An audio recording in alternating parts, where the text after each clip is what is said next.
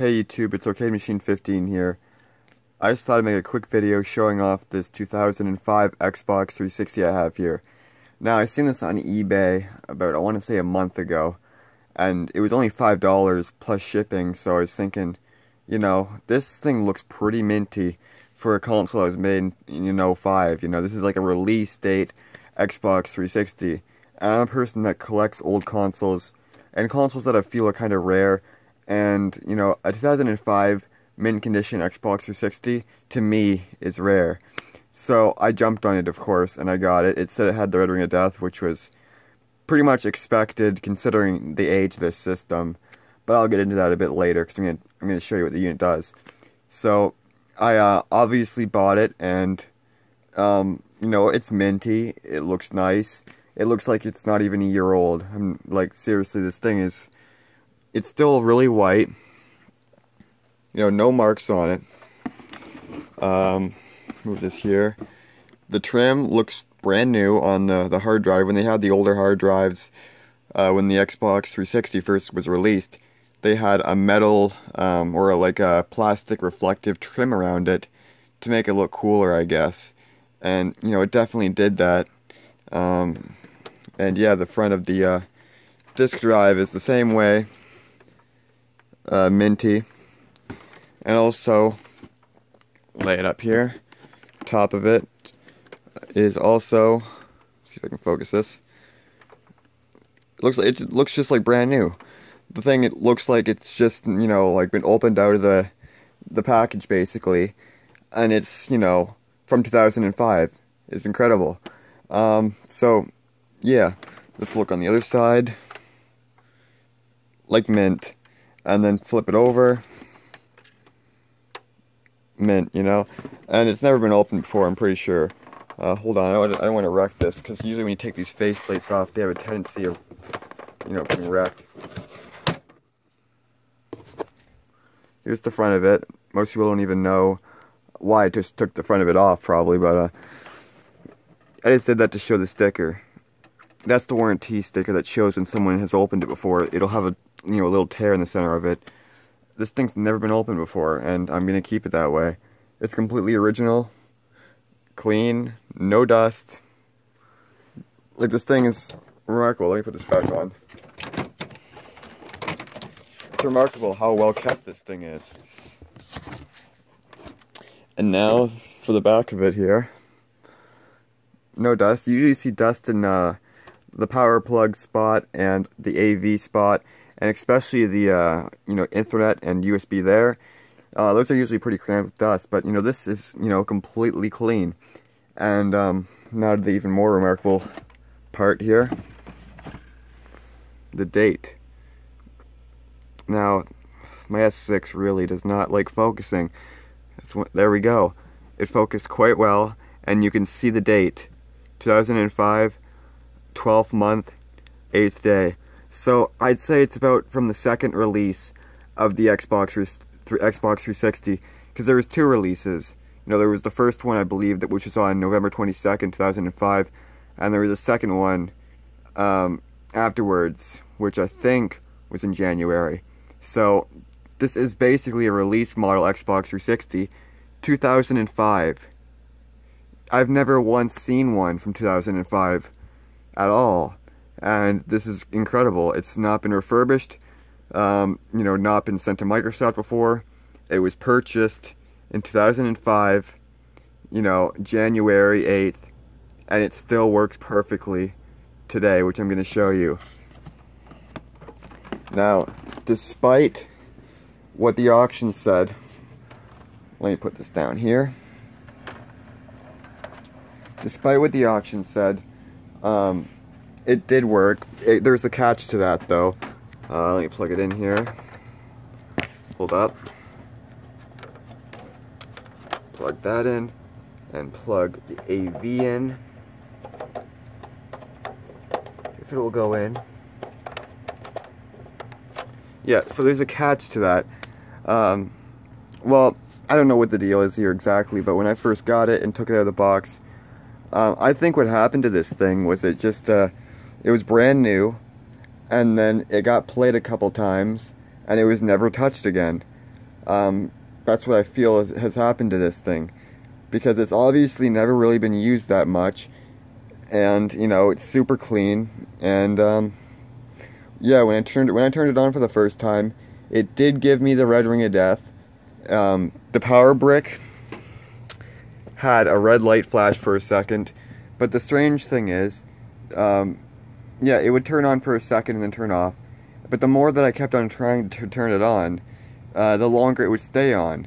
So eventually I got to the point where it would turn on and like show the Xbox 360 logo and you know the end of it, then it would turn off and then it would get to the dashboard, then turn off, and then eventually it just didn't turn off anymore, and the thing's been working fine ever since. So I think that one of the components, you know, usually a capacitor, that haven't been used for a very long period of time, um, go bad and in some cases dry up inside, and heat usually makes them work as they did, you know, before whatever happened to them, like before they dried out or before they haven't been used for a long time. the being uh, warmed up usually regenerates them in a way. And when I kept this thing plugged in, um, it does get a bit warm a tiny bit. So, I mean, I guess that kind of helped it out. And uh, over time, and I guess with me trying to power it on, it just eventually uh, gave in and uh, the components started working the way they should. Because now, uh, this is the same Xbox. Never been opened before from 2005, January 8th and it's gonna work. And it, this works remarkably quick. This is a Xenon motherboard inside this thing, a release Xenon motherboard, and this is the fastest booting console I have at the moment. It's remarkable how quick this thing turns on. Let me demonstrate it.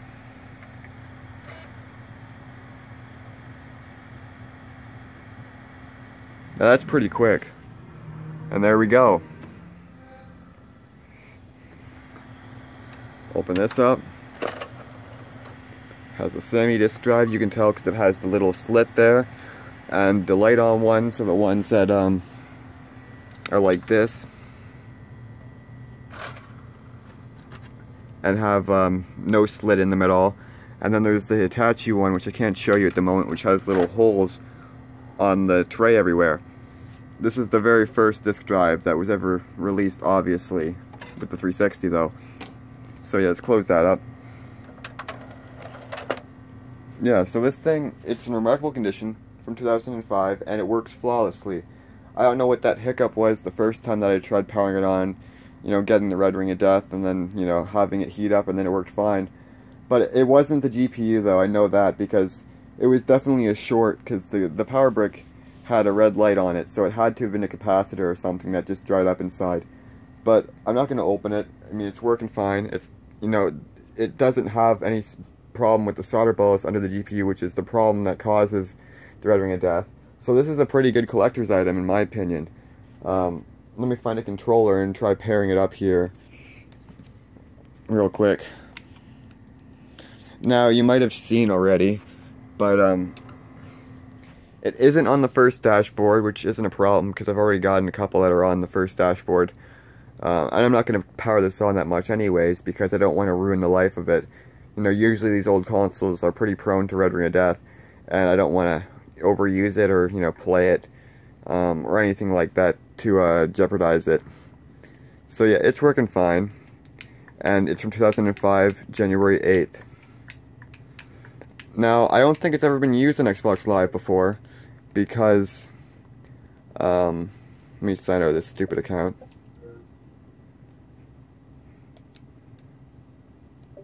See, it doesn't say Xbox Live on any of the accounts. Focus. Doesn't say Xbox Live under their names.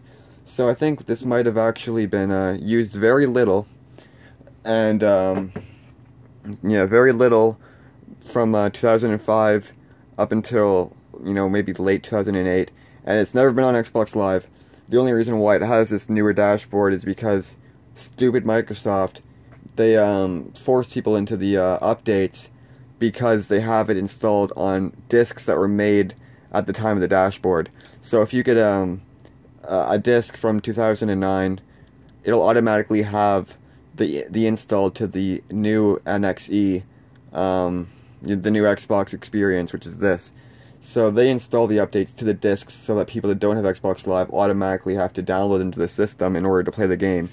So yeah, it's working fine, and it's quite remarkable actually. And I don't know uh, what the hiccup was, like I say at the beginning there when I first tried using it.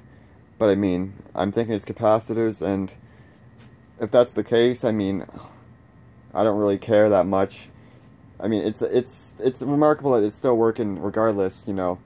Um, and I'm just gonna try keeping it that way. I'm gonna try just using it every once in a while and you know testing it out, and I just don't want to open it up and fix those capacitors because it's never been opened before. It's like a piece of history, you know. Nobody really has a 2005 Xbox 360 that still works today. So I consider myself lucky. And um, yeah, that's all I wanted to make for this video here. Uh, please leave a comment, rate, and subscribe, and I'll try to make some more iPhone videos.